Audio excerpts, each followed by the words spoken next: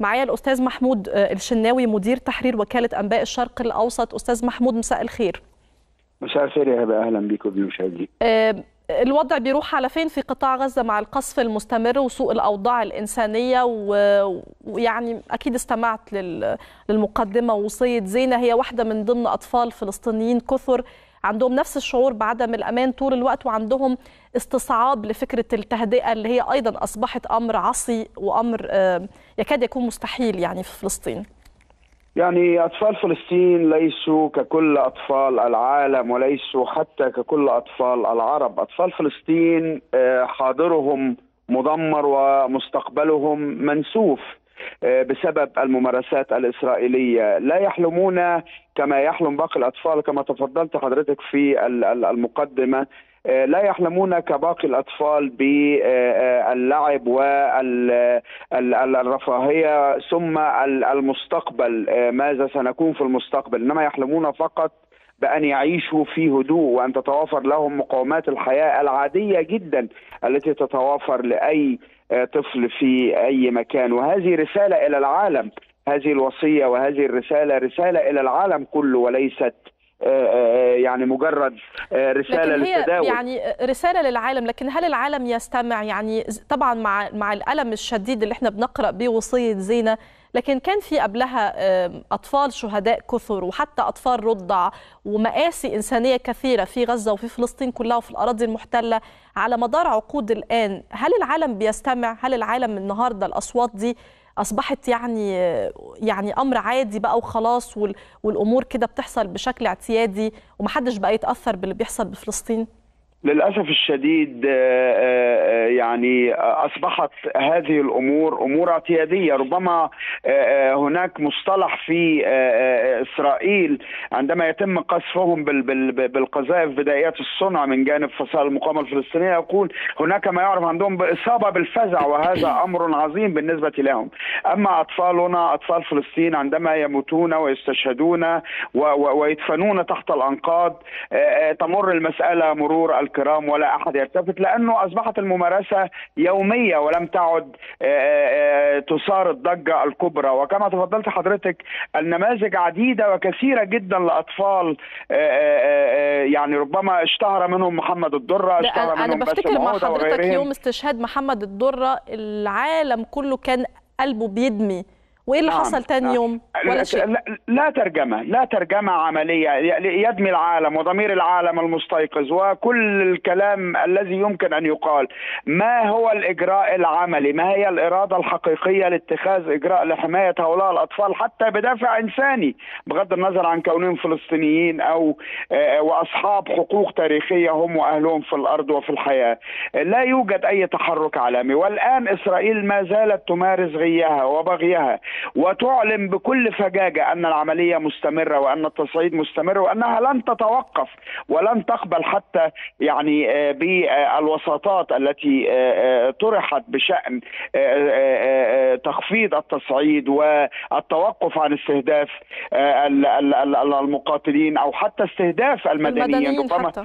ربما ربما يكون يعني تكون تقول أن أن أن المقاتلين أو عناصر المقاومة يمثلون خطرا عليها. فماذا تمثل طفلة مثل هذه؟ وماذا كان يمثل غيرها من الأطفال الذين كنا شهود عيان أحيانا على مقتلهم أثناء عملنا في تلك الأراضي؟ كنا كانت قلوبنا تدمي ونستصرخ العالم كله. ولكن الضمير العالمي للأسف يتوقف فقط عند حدود ال ال ال ال ال ال الدموع. وربما تكون دموع تماسيح وليست دموعا حقيقية. الوضع في غزة الحقيقة شديد الخطورة وهو ليس الأول من نوعه. وما زالت مخيمات جنين تحكي المآسي التي جرت فيها العام الماضي وما زالت العمليات العسكرية التي تتناقلها وكالات الأنباء من عمليات قصف مدمر لأحياء مدنية. والآن يعلن يعني منذ قليل أعلنوا أنهم وافقوا على إخلاء الأجانب. ومعنى ذلك أن أن التصعيد مستمر وأن الحبل على الجرار كما يقال وأنه من الممكن أن تتخذ إسرائيل الكثير من أن تفعل الكثير من الحماقات. العلاقات أكثر مما فعلته خلال الأيام الماضية. طب السيناريو اللي بيتردد من حين لآخر الحقيقة كل فترة كل ما بتحصل موجة من موجات التصعيد هو اندلاع انتفاضة جديدة وخصوصا أحيانا بيبقى في تحليلات كثيرة عن تفاعلات مختلفة بتحصل داخل الفصائل مع طبيعتها المختلفة يعني فهل حضرتك شايف إنه التصعيد ممكن ياخد الشكل دوت ولا تبقى الأمور أيضا ضمن دايرة التصعيد ثم التهدئة والتصعيد ثم التهدئة بنفس الشكل؟ يعني الظروف التي هيأت للانتفاضة الفلسطينية الأولى في العام 87 ثم الانتفاضة الفلسطينية الثانية أعتقد أنها غير مهيئة الآن.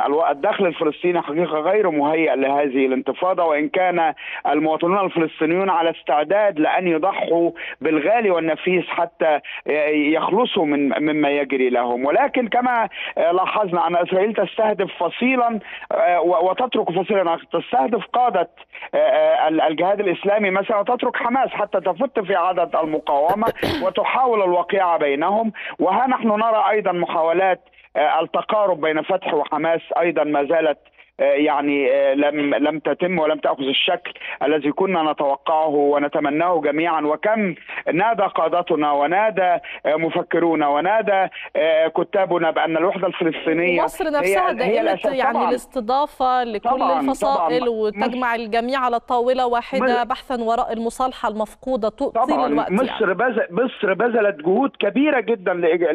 لإنجاز مصالحة فلسطينية ولكن يبدو أن هناك أطراف إقليمية ودوليه تعبث في هذا الجزء من ال الواقع الفلسطيني وتعوق عملية المصالحة. وهناك فصائل فلسطينية للأسف الشديد رغم كل ما يقدم لها من عروض ورغم كل ما يقدم لها من مبادرات.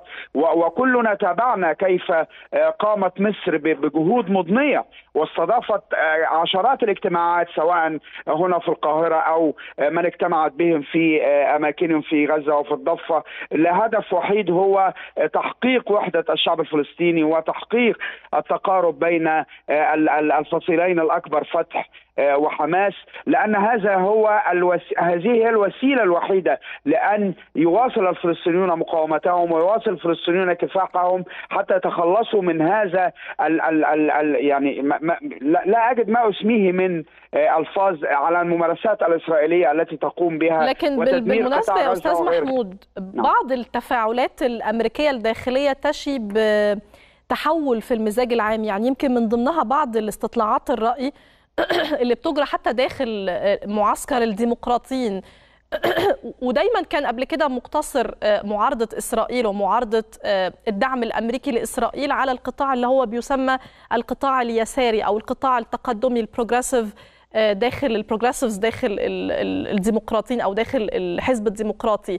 اليوم أصبحنا نجد المعارضة بتتوسع المعارضة الأمريكية لدعم إسرائيل تتسع شيئا فشيئا، هل ممكن نكون قدام تطور أو تحول أمريكي في التعاطي مع إسرائيل؟ خصوصا إنه بدأنا نسمع بشكل متكرر كلمة الأبرتايد أو الدولة العنصرية، دولة الفصل العنصري في إشارة إلى إسرائيل وده ما كانش أمر مقبول ابدا في السابق. يعني حقيقة مع يعني تفاؤلنا بهذا التطور الكبير في حتى الخطاب الداخلي الأمريكي. ولكن للأسف الشديد وما يجعلنا نحزن أن هناك استراتيجية أمريكية واضحة ومستقرة وثابتة تقوم دائما على دعم إسرائيل وتفضيلها وجعلها هي القوة الأكبر مقارنة بكل محيطها العربي. بالتأكيد هناك رأي عام سواء داخل داخل أمريكا أو داخل أو أو أو في الداخل الأوروبي نظرا لما ترتكبه إسرائيل من جرائم ضد الشعب الفلسطيني جرائم يندى لها الجبين ولا تمت للإنسانية بالصلة وهي يعني أنا أتصور أنها جرائم لن تسقط بالتقادم لأنها حقيقة خارج كل نطاق السياقات الدولية والأعراف والقوانين وكل حقوق الإنسان التي يتغنى بها العالم. ولكن يعني مسألة أن يتحول هذا التعاطف وهذا التغير في الخطاب الداخلي الأمريكي أو أو الرأي العام الأوروبي أن يتحول إلى رد فعل عملي وحقيقي يعني هذا ده مربط الفرس. أتصور أنه بعيد المنال لأنه يعني عندما يتحول رد فعل حقيقي الأمور سهلة جدا. يمكن أن تجبر إسرائيل على الجلوس بشكل حقيقي إلى مائدة مفاوضات وأن تختار مشروعا من من عشرات المشروعات التي عرضت عليها لحل القضية الفلسطينية وأن تعيد للإسرائيل للفلسطينيين حقوقهم وأن يكون هناك دولتان. ولكن بشروط تضمن للفلسطينيين هو مع الأسف يعني حتى حل هذا هو مم. هذا هو ال ال ال الأمر المقبول عمليا. أما ان ان ان يعني ان ان, أن نتغنى بتغير الرأي العام أو غيره حقيقي هذا يعني أنا أتصور أنه أمر غير مجدي. يجب أن تجبر إسرائيل على الجلوس إلى مائده مفاوضات إلى مائدة مفاوضات حقيقية وأن تستجيب لرغبة الفلسطينيين ورغبة المجتمع الدولي في حل القضية التي هي أطول قضية في العالم. طبعا. يعني لم لم يمر يمر القضايا. بشكرك يعني شكرا جزيلا يعني. طبعا الاستاذ محمود الشناوي مدير تحرير وكالة أنباء الشرق الأوسط.